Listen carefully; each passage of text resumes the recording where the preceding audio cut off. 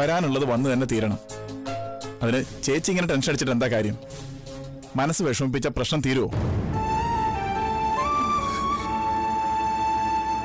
ആരൊക്കെയോ തൂങ്ങി നിൽക്കുന്നതായി ഞാൻ സ്വപ്നം കാണുന്നുണ്ട്. അലമുറയിടയിലും ചിതയും ഒക്കെ ഞാൻ കാണുന്നുണ്ട്. വീണ്ടും ആ പഴയ കാലം വരികയാണോ ശ്രീ? വേർപാടുകൾ ഇനിയും പലതും കാണേണ്ടി വരുമോ ജീവിതത്തിൽ അതൊക്കെ സ്വാഭാവികമാണ് ചേച്ചി. എല്ലാവരും എന്നും നമുക്കൊപ്പം ഉണ്ടാവണമെന്നില്ല. വേർപിരിയേണ്ടവർ സമയമാകുമ്പോൾ പോവും. അത് മരണത്തിന്റെ രൂപത്തിലാവാം അല്ലെങ്കിൽ മറ്റെന്തെങ്കിലും കാരണത്താലാവാം. അതൊക്കെ മറ്റാരേക്കാളും അനുഭവിച്ചറിഞ്ഞവളാ ചേച്ചി. പിന്നെ ഇങ്ങനെ പകച്ചു നിൽക്കണം? ഭയക്കണം? സ്നേഹിക്കുന്നവരെ നഷ്ടപ്പെടുന്നത് സങ്കടം തന്നെയാണ് ശ്രീ. അത് തന്നെയാ. ഇവിടെയുള്ളവരുടെ പ്രശ്നം. അല്ല കുറ്റം പറയണ്ട. ഒരാശ്രിതനെ പോലെ വന്ന എന്നെയും ഇപ്പോൾ ഈ വീട്ടിലെ സങ്കടവും സന്തോഷവും ഒക്കെ എല്ലാവരെയും പോലെ സ്വാധീനിക്കുന്നുണ്ട്. പിന്നെ ഇവിടെ നമ്മൾ ഒരു തെറ്റും ചെയ്തിട്ടില്ലല്ലോ ചേച്ചി. കാലങ്ങൾക്ക് ശേഷം മടങ്ങി വന്ന ഗായത്രി മോളെ നഷ്ടപ്പെട്ടു പോകാതിരിക്കാൻ ആ കുട്ടിയുടെ സ്നേഹം നഷ്ടപ്പെട്ടു പോകാതിരിക്കാൻ പറയാവുന്നിടത്തോളം കള്ളങ്ങൾ പറഞ്ഞു. ചെയ്യാവുന്നതൊക്കെ ചെയ്തു. ഇനിയും ഓരോന്ന് മൂടി വെക്കാൻ ശ്രമിച്ച അത് ശരിക്കും ശ്വാസം മുട്ടൽ തന്നെയാ. വീർപ്പ് മുട്ടല. അത് ഓരോ അസുഖങ്ങൾ ക്ഷണിച്ചു വരുത്തുകയുള്ളൂ.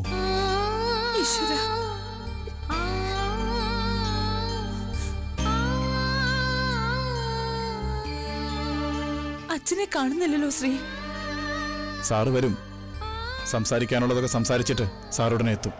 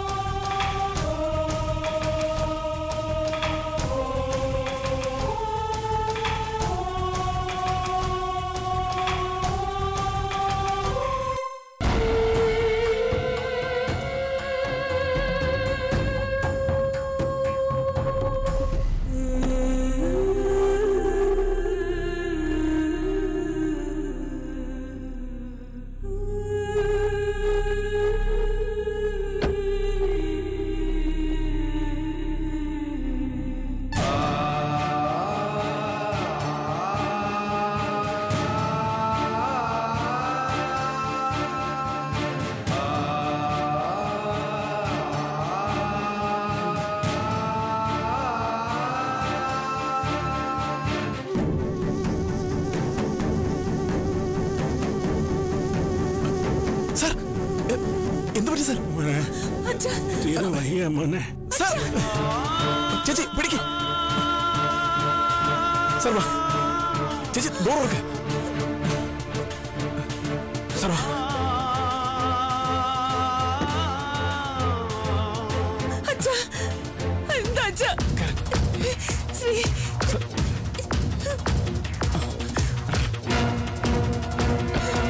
ഞാൻ സാറിന് ഹോസ്പിറ്റലാക്കിയിട്ട് വിളിക്കാം. ഞാൻ വിളിക്കാം. എന്താ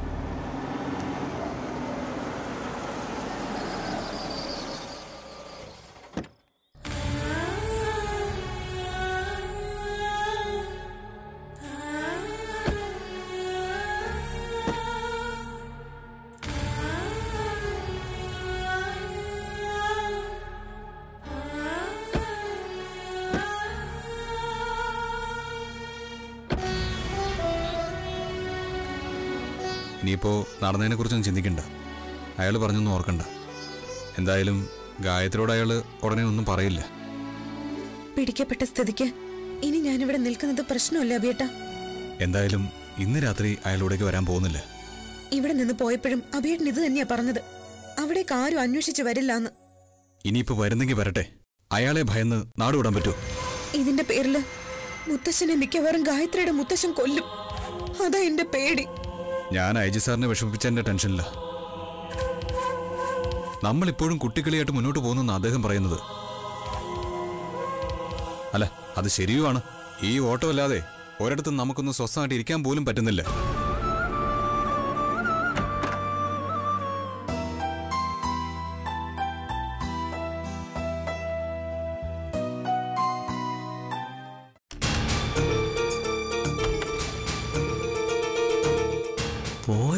തന്നെ തിരിച്ചു വന്നു.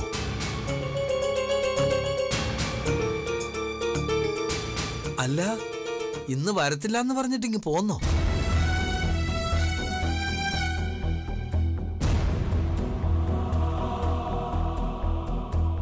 സമയം പത്ത് മണി കഴിഞ്ഞു. എന്തെങ്കിലും കഴിച്ചിട്ടാണോ സാറേ വന്നത്? അതെ നല്ല ടേസ്റ്റ് ഉള്ള ഭക്ഷണം തന്നെ കഴിച്ചത്. പലപ്പോഴും കഴിക്കുന്ന ഭക്ഷണത്തിന് ടേസ്റ്റ് കൂടും സാറേ. എന്നും കഴിക്കുന്നത് മടുക്കാതിരിക്കുന്നതേ കുക്കിന്റെ മെടുക്ക. അല്ല സാധാരണ ആൾക്കാർ പാർട്ടിക്കൊക്കെ പോയിട്ട് വരുമ്പോ നല്ല സന്തോഷത്തിലായിരിക്കുമല്ലോ ഇത് മുഖത്ത് നല്ല സങ്കടമുണ്ടല്ലോ. മാഡം എന്തോ കണ്ട് പേടിച്ചതല്ലോ ഉണ്ടല്ലോ സാറേ. ഉണ്ടെങ്കിൽ അത് താ മാറ്റി തരൂ? ഓരോന്ന് അന്വേഷിക്കാതെ പോയി കിടക്കാൻ നോക്ക്. കിടക്കുകയായിരുന്നു. ഒന്ന് മയക്കം പിടിച്ച് വന്നപ്പോഴാ സാറിന്റെ എഴുന്നള്ളത്ത്. അയ്യോ അല്ല സാറ് വന്നത്. അല്ല സാറേ ചുക്ക് കാപ്പി എടുക്കട്ടെ?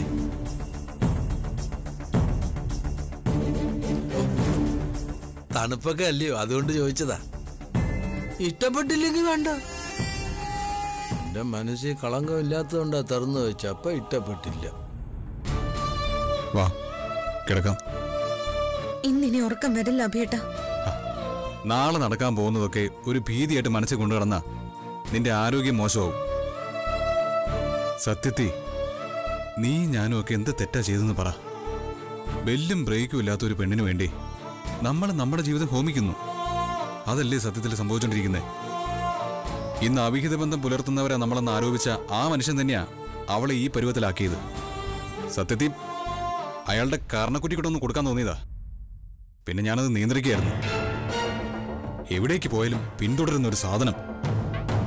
നീ വാ.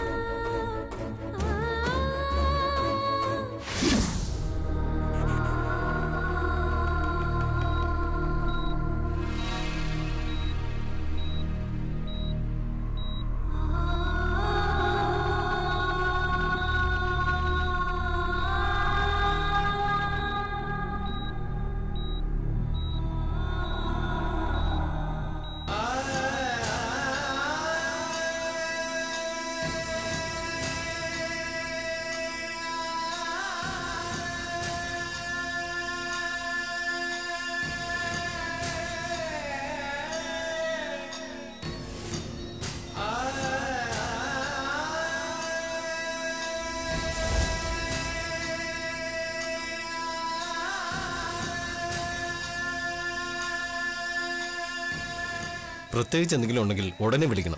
അതുപോലെ ലാബ് റിസൾട്ട് പെട്ടെന്ന് വേണമെന്ന് പറയണം. ശരി ഡോക്ടർ.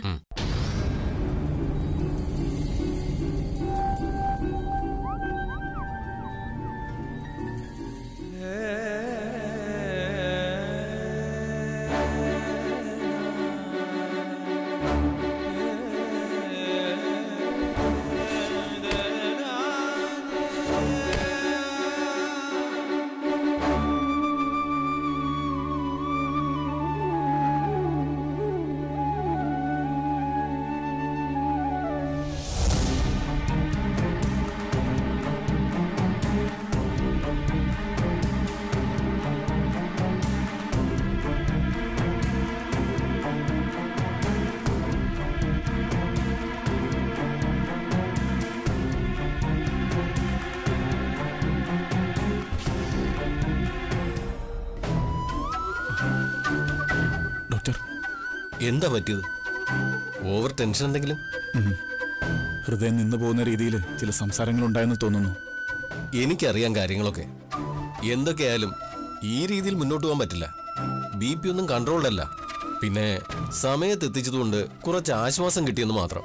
എങ്കിലും ആളിന്റെ നില ഗുരുതരമായി തന്നെ തുടരുകയാണ്. നാളെ ഡോക്ടർ വരദരാജനെത്തും. ഞാൻ അദ്ദേഹത്തോട് വിവരങ്ങൾ പറഞ്ഞിട്ടുണ്ട്. അദ്ദേഹത്തിന്റെ ജീവന് ഒരു അപകടവും സംഭവിക്കരുത് സർ. ഇപ്പൊ ഹൃദയം നിന്ന് മരിക്കാൻ മാത്രം തെറ്റുകളൊന്നും അദ്ദേഹം ചെയ്തിട്ടില്ല. എന്നിട്ടും ചിലരൊക്കെ ചേർന്ന് കുറച്ചു നാളായി ആ പാവ മനുഷ്യന്റെ ഹൃദയം കീറി മുറിക്കുക കൊല്ലുക. സ്നേഹം ആളിക്കത്തലാവുമ്പോ അത് ആദ്യം ബാധിക്കുന്നത് ഹാർട്ടിനെ തന്നെയാണ് ഡോക്ടർ ബാലേന്ദ്രൻ വിളിച്ചപ്പോൾ പറഞ്ഞിരുന്നു ഇടയ്ക്ക്. വിവാഹം കഴിഞ്ഞ മകൾക്ക് അത് പുറത്തു പറയാൻ പറ്റാത്ത അതിദയനീയമായ അവസ്ഥയാണെന്ന്. രണ്ട് കൊച്ചുമക്കൾക്കിടയിൽ കിടന്ന് നാഥൻ സാർ നട്ടം തിരികുകയാണെന്ന് ബാലേന്ദ്രൻ ഡോക്ടർ ഇപ്പോൾ ഇവിടെ ഉണ്ടായിരുന്നെങ്കിൽ അച്ഛന്റെ തകരാറിലായ ഹൃദയം പൂർവസ്ഥിതിയിലാക്കാൻ ഓടി നടക്കുന്നത് അദ്ദേഹമായിരുന്നേനെ. തൽക്കാലം ബാലേന്ദ്രനെ ഒന്നും അറിയിക്കണ്ട. ഞങ്ങൾ മാക്സിമം ട്രൈ ചെയ്യാം. പിന്നെ അദ്ദേഹം മയക്കം വിട്ടുണരുമ്പോൾ മനസ്സിന്റെ ഭാരം കുറയണം. ഭയക്കുന്ന ചിന്തകൾ പാടില്ല. അത് മുന്നിലേക്ക് വരുന്നവരെ ഓർമ്മപ്പെടുത്തണം.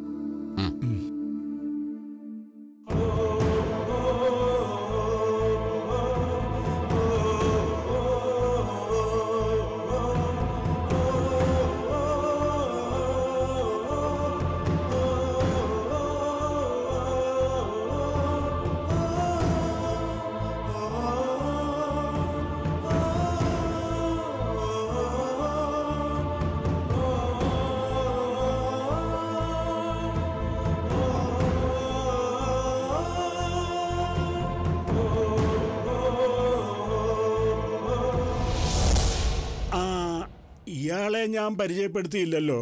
ആര് പറഞ്ഞു ഇല്ല എന്ന് ജയം പോയതിന് പകരം എനിക്കൊരു മോനെ കിട്ടിയടോ.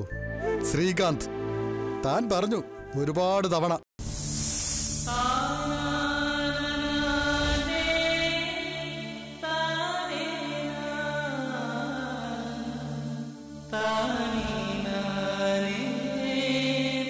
മോന ശരിക്കും മോൻ തന്നെ.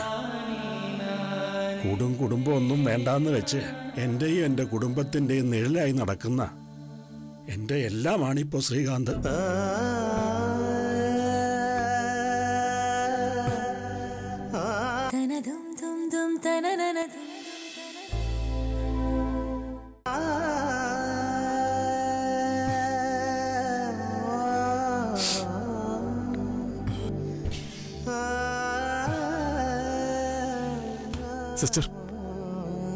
എനിക്ക് അദ്ദേഹത്തെ ഒന്ന് കാണാൻ ഇപ്പൊ കാണാൻ പറ്റില്ല.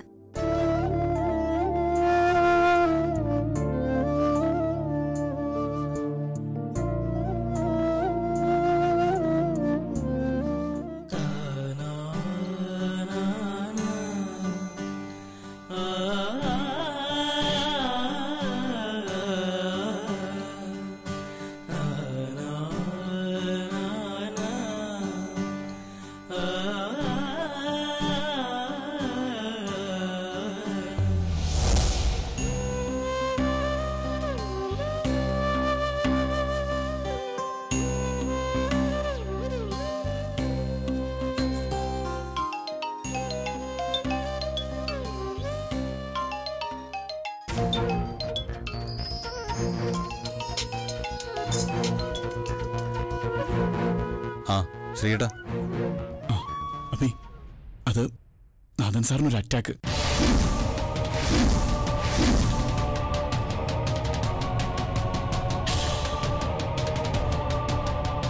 ഇവിടെ സിറ്റി ഹോസ്പിറ്റലിൽ അഡ്മിറ്റാ. സീരിയസ് ആണോ ശ്രീയേട്ടാ? കൊണ്ടുവരുമ്പോൾ നല്ല അവശത ഉണ്ടായിരുന്നു. പെട്ടെന്ന് എത്തി അത് വലിയ ഭാഗ്യമായി. ബാലയോട് തൽക്കാലം ഒന്നും പറയാൻ നിൽക്കുന്നില്ല. അല്ലെങ്കിൽ തന്നെ ബാല അപ്സെറ്റാ. എന്താ ബി? ഞാൻ അവിടെ എത്തിയിട്ട് വിവരം പറയാം.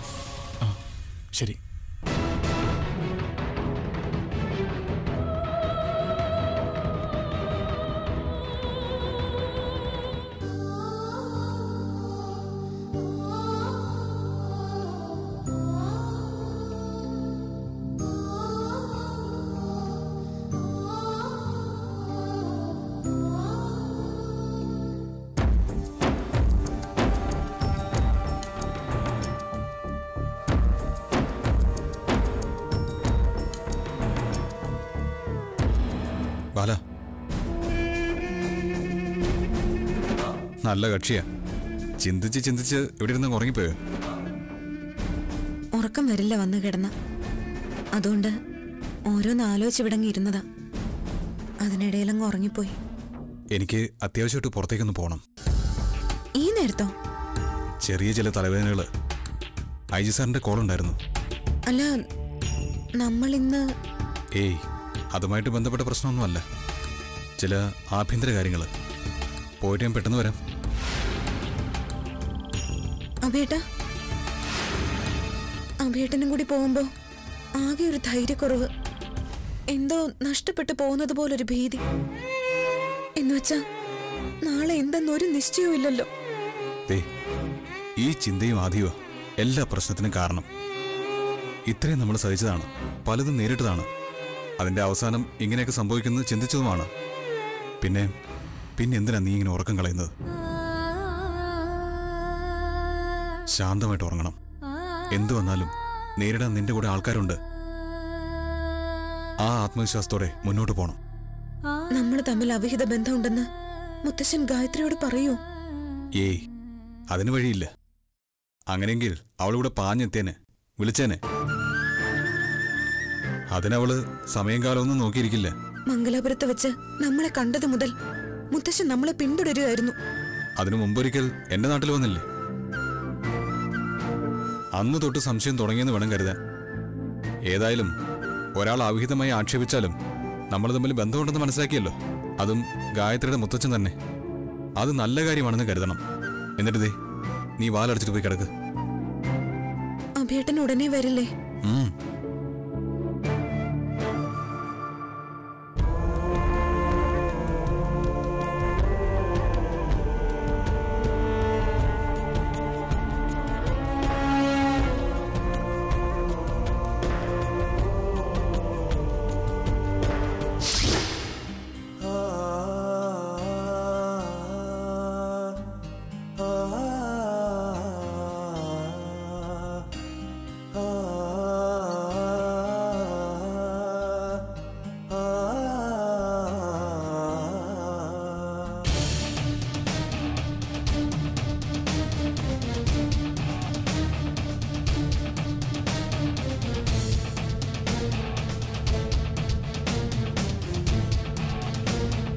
ശ്രീയേട്ടാ എന്തായി ശ്രീയേട്ടാ? പെട്ടെന്ന് എത്തിച്ചതുകൊണ്ട് ജീവൻ നിലനിർത്താൻ കഴിഞ്ഞു എന്നാ ഡോക്ടർ പറഞ്ഞത്.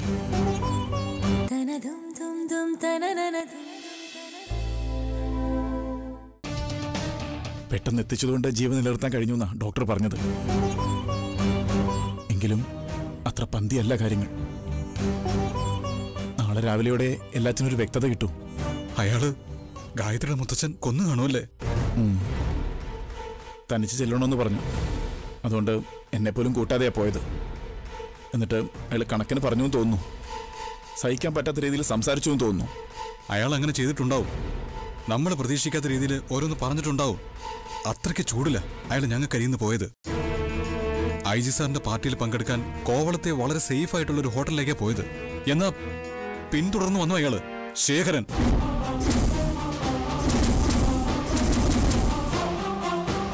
എന്നിട്ട് ഹോട്ടൽ മുറിയിലിരുന്ന എന്നെയും ബാലയും പിടിച്ചു.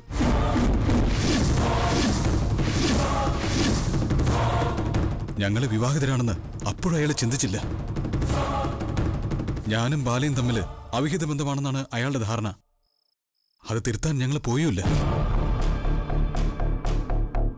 എന്റെ മുന്നിൽ വെച്ച ബാല അയാൾ തല്ലിയത്. അവൾക്ക് താങ്ങാൻ കഴിയുന്നതിലപ്പുറം ക്രൂരമായ വാക്കുകൾ പറഞ്ഞു. എന്റെ പരിധി വിട്ടതാ. പിന്നെ ബാല എന്നെ തടഞ്ഞു. അവിടെ നിന്ന് അയാൾ കൊടുങ്കാറ്റോടെ പോയപ്പോഴേ അറിയായിരുന്നു മുത്തച്ഛനെ കൊല്ലുവെന്ന്. ആ കൊന്നു. സാറ് നെഞ്ചുവേദന കടിച്ചമർത്തിയാ ഡ്രൈവ് ചെയ്തത്. എനിക്ക് പറ്റിയ പിഴവ്. കാര്യങ്ങൾ പന്തിയല്ലെന്നറിഞ്ഞപ്പോ ഞാൻ സാറിനെ പിന്തുടരേണ്ടതായിരുന്നു. അഖില എവിടെയെങ്കിലും മറഞ്ഞു നിന്ന് അവരുടെ സംസാരം വീക്ഷിക്കേണ്ടതായിരുന്നു. ചെയ്തില്ല. പിന്നെ ഇനിയിപ്പോ അതേപ്പറ്റി ഓർത്ത് വേദനിച്ചിട്ട് കാര്യമില്ലല്ലോ. അവിടുന്ന് മടങ്ങുമ്പോൾ ബാല എന്നോട് പറഞ്ഞിരുന്നു. ശേഖരൻ നാദമുത്തച്ഛനെ കൊല്ലുവെന്ന്. ആ വാക്ക് സത്യമായി. ഇനി ബാലയോട് ഈ വിവരം പറയുന്നതാ പ്രയാസം. ഏതായാലും ഞാനൊന്ന് മുത്തച്ഛനെ കണ്ടിട്ട് വരാം.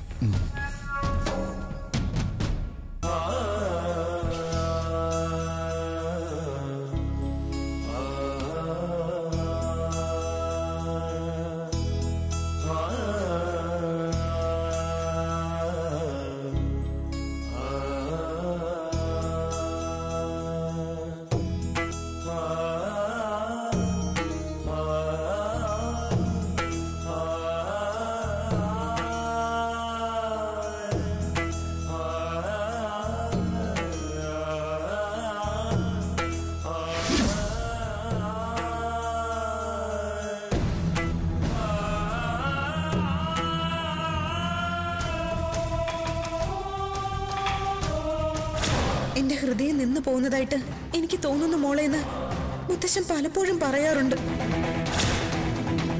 മോളെ അഭിയേയും ഹോട്ടൽ മുറിയിൽ വെച്ച് പിടിച്ചതിന് പിന്നാലെ ശേഖരേട്ടൻ മോളുടെ മുത്തശ്ശനെ വിളിപ്പിച്ചു.